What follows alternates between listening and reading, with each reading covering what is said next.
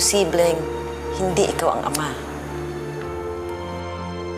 Alam ko masasaktan ka kapag nalaman mo, kaya hindi ko sasabihin kahit na kanino ang tungkol dito.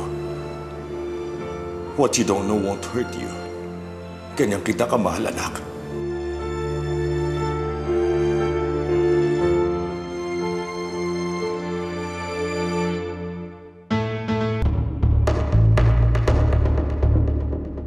I, Alfonso Valdez, declare that this is my last will and testament.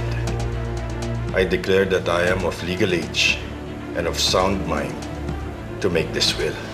To my wife, Michelle Ramirez Valdez, I am giving 50% of my assets, and the remaining 50% will be equally divided between my two daughters, Patricia and Joanna Valdez.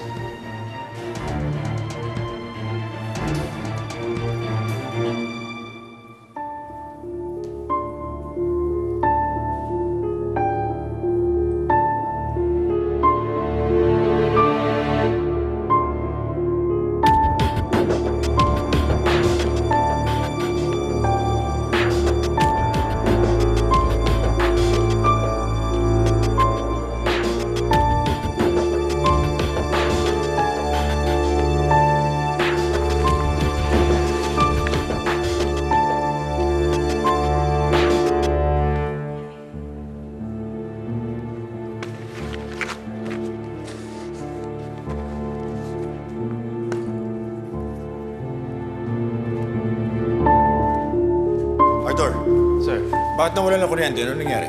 hindi ko po alam sir pero may nag-ayos na po. Sige.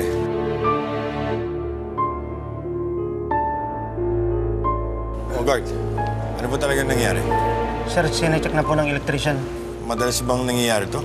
Hindi ko alam, sir, pero ngayon lang nangyari to, sir. Excuse me, sir. O, sige.